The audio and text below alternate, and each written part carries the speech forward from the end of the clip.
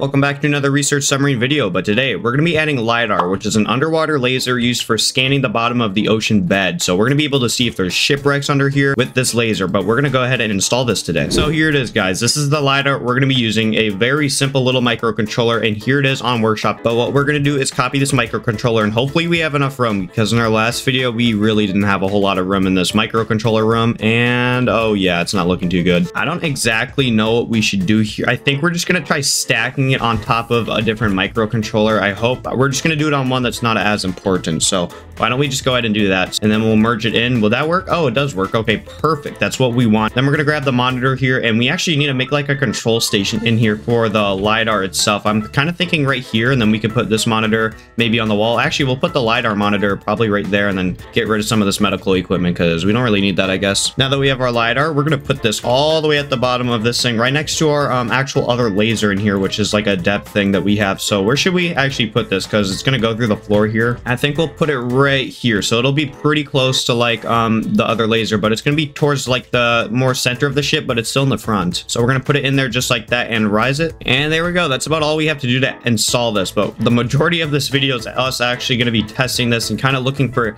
um, shipwrecks here on the map. And I might spawn some in because there's not really a whole lot of shipwrecks in this game. So what we're going to do is just add some video to this monitor here. So we'll have to grab the video feed from that and then we'll connect it to the monitor I just added and make sure we have electric to everything also. And then for this button right here that turns on all this radar and stuff, we'll just connect it straight to this monitor. So we'll just do um, systems for the station. There we go. Systems have been added right here. So that should turn on the monitor, but we definitely don't want to leave this open because that leads straight to a ballast tank. And I'm not really trying to flood this entire um, control room here. So uh, what should we add here? I don't know. Actually, I don't think we actually need any more buttons there. So we're just going to replace this stuff. But now what we're going to do is go ahead, spawn this in and test it. Let's make sure um, I have everything connected here. So we need electric for this LiDAR thing. I think I already added that, right? And then before we do that, I think we forgot this constant number here. Oh, it's a constant on. All right, so I think we can just delete all this just like that. And then we're going to spawn this and test if our LiDAR works. This is going to be amazing, guys. Oh, I see the laser. You guys see that thing? Oh my gosh, that thing goes fast. I think we need to put that on infrared mode because I don't really want to be seeing that. Anyways, let's go on this monitor here. And there we go. So we can make a large image if we click. Um, oh, oh yeah, we didn't uh, connect to composite, so it's not going to work. Okay, that's why I was clicking stuff and it didn't do anything. So we need to connect composite to our monitor here straight to this uh, motherboard from the touchscreen. There we go. Now it should work. I do have this on the Ultimate Tsunami Survival Boat if you guys don't know. But there we go. It is um, actively working right now. So we're going to activate it and put it on a large image. So it'll scan really fast going through there just like that. And what I'm going to do is put myself down here like where the laser is going to scan. And we're going to see if I can see myself on the monitor there. So once this laser actually scans me, we're going to see. Here we go, guys. The laser's going over me. Will it see me? Oh, oh, oh, okay. I'm not trying to move that much. Okay, the laser's past me. So now we're going to go teleport up here and see if I can see myself on the monitor. This is going to be interesting. Oh, I think I do. I'm a single pixel. Okay, well, at least it actually does work. But that is the seafloor right there. We will be able to see if there's a shipwreck. So why don't we go ahead and test that? So now we have this shipwreck here that should sink instantly, but we're going to kind of see here because I did put a thousand holes in it. So I want it to sink all the way to the bottom and it kind of looks like it's floating. Is there any air? There really isn't any air. Um, okay, it's, it is a little bit floaty though. Now what we're going to do is spawn that vehicle all the way out, but there the boat is over there. It should completely sink. I did fill it up with a couple weights, so it's directly over there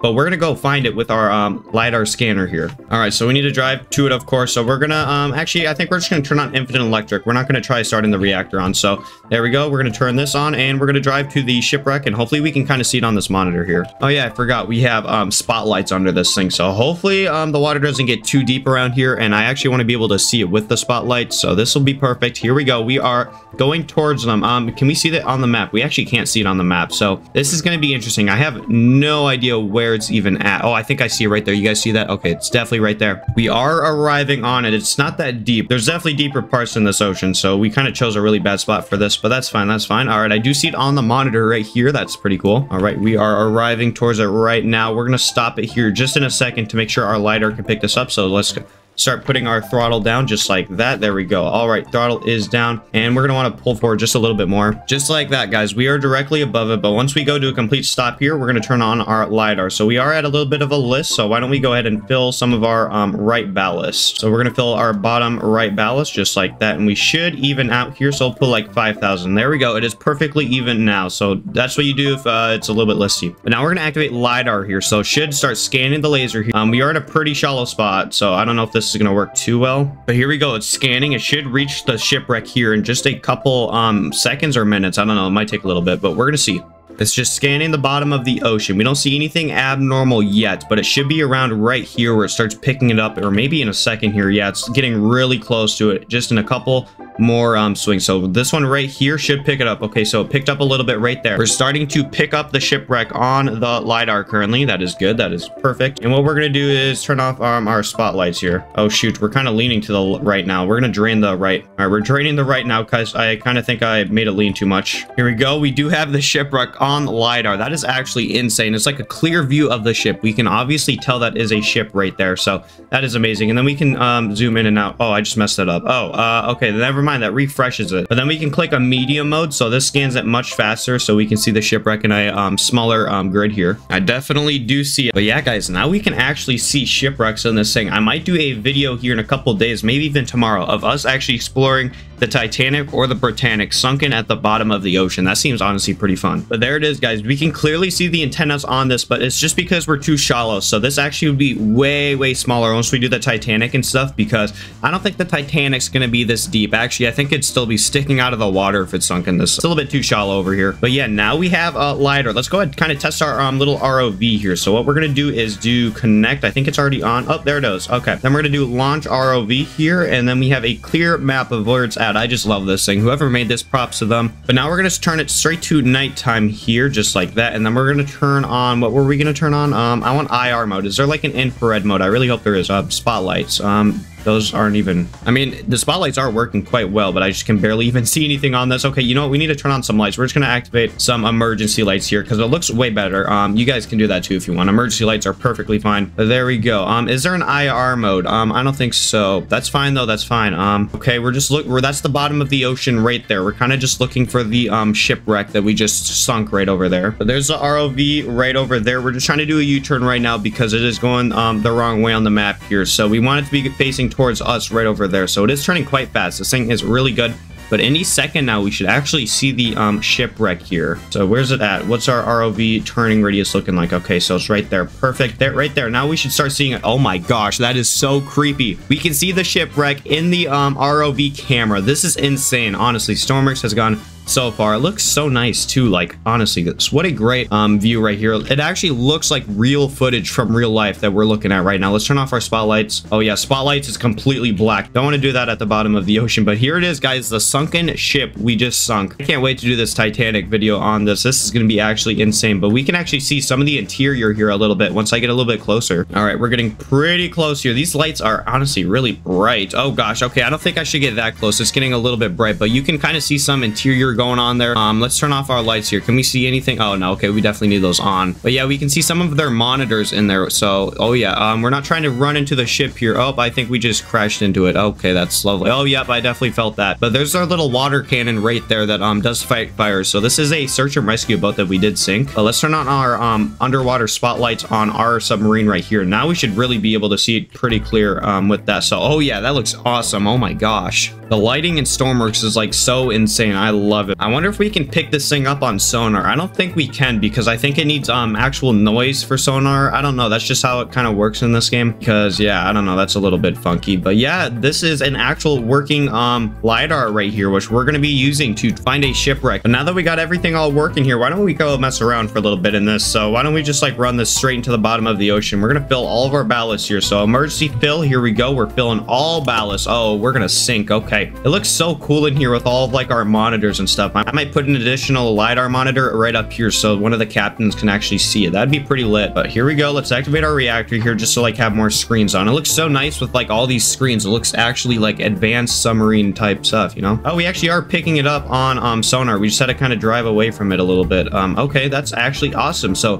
that's how we can also locate some shipwrecks, which is good. And it disappeared from our sonar. Okay, that's a little bit creepy. But um, something cool with this sonar, we can actually click on it and it says the mass. So 11 and then negative 5. I don't actually know what that means, but yep, we are driving away. Our ballast is being filled. There's actually a ship um, directly in front of us. Are we detecting that on any um, sonar or radar here? We actually aren't. Okay, let's zoom out a little bit, see if we are. Oh, we don't even have radar on. Okay, radar's now on. Are we picking him up? Okay, let's keep zooming out. He's pretty far in front of us, right? He's um actually I don't think radar's gonna work. We're really far underwater. Okay, so we're gonna rise altitude here just like that and kind of resurface. We're gonna see if we can resurface with full ballast. He should be right over there. Nope, we are fully resurfaced. So I don't know what that is, but we're not detect. Oh, there we go. Okay, so what is that? A negative six. I don't know what that means, but it's uh, some type of code. But yeah, that is like a fishing boat over there. We are spotting on radar here, so that's good that we're actually detecting it. What is this? But um, something cool about this is if we spawn some megalodons and krakens, we can actually um see what it is if we hover over it. So if you guys are wondering what this is, all we have to do is select it, and guess what? That's a megalodon, M-E-G. That means megalodon. So really cool sonar here. I honestly love this so much. Oh, and then there's a shark over here. It switches from like megalodon to shark. Never mind. There is a megalodon and a shark in the same area, and then I think there's a kraken somewhere actually over here. But I think we should start diving here. There is a megalodon lurking under us somewhere in the deep underwater dark ocean. Oh gosh. Oh, bottom distance is actually really deep over here. Um, I do not have the crushing mod enabled currently, so we can go straight to the bottom without getting crushed. Uh, I probably should have turned that on. Oh, oh, that's the bottom. Stop, stop, stop. Don't pull up. Oh my gosh, guys, we have a slight issue going on here. Okay, I hear uh beep, hear beeping. That means we have water inside. I think everything should be working though, our LiDAR and stuff. Anyways, um, we're gonna be blowing the ballast here. We need to get to the surface immediately. So turn all this stuff off